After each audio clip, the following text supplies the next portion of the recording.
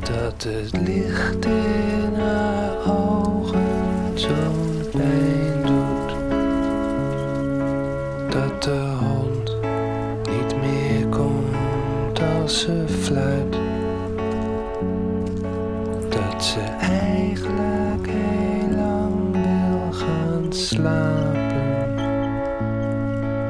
Haar stem is zo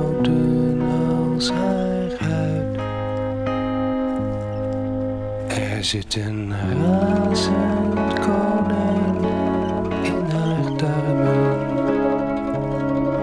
En een steen met haar naam in mijn mond. Het doodsbange dier in haar ogen.